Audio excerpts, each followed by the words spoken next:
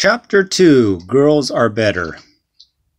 Kaylee is sitting in her high chair banging on the tray while Dad is trying to get her food ready.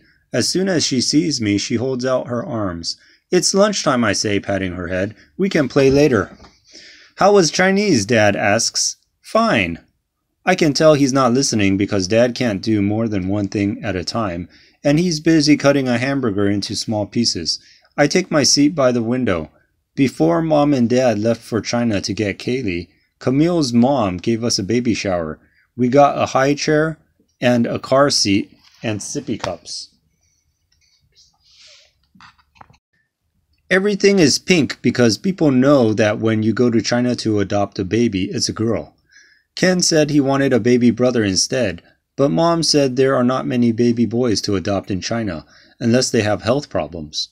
When I asked why, Mom said that in China some people favor boys. Kaylee is starting to fuss. Dad gives her a piece of bread. She plays with it, but she doesn't take a bite. Rice is better, Mom says, picking up the bowl of rice that Dad heated up.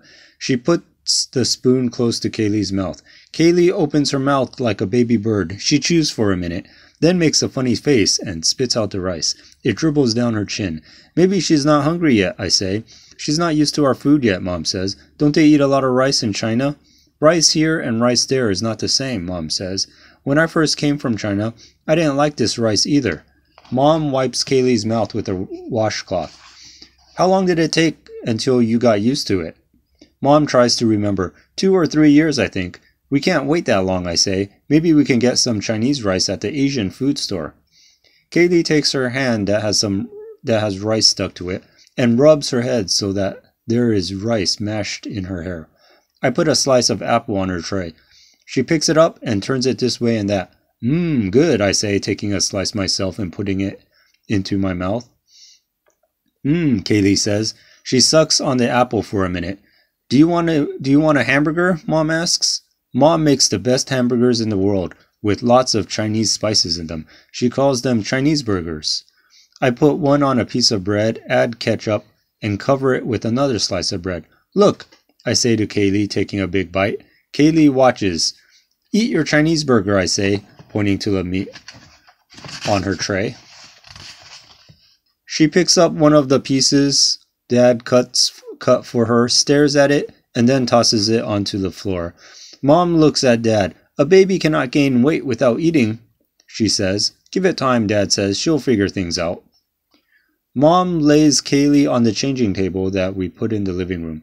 Boo, I say, trying to distract her while Mom takes off her diaper.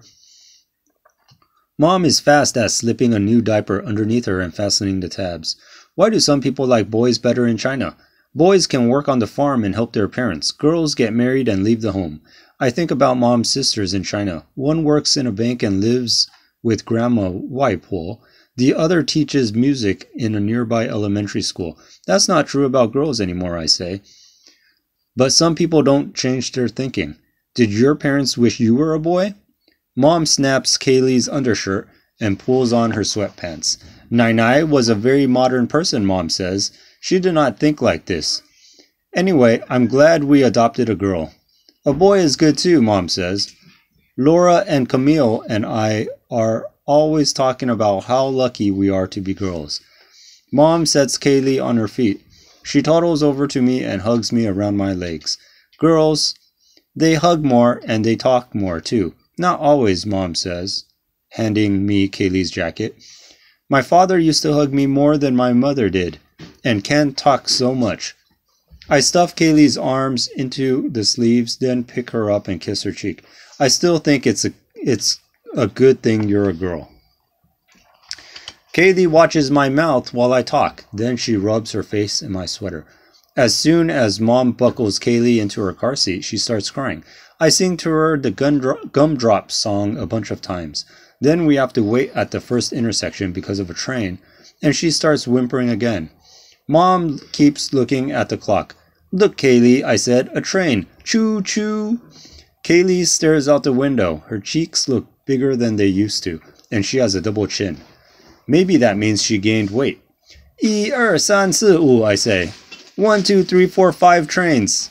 Kaylee watches the train cars. Finally, the caboose goes past and the wooden arm across the road goes up.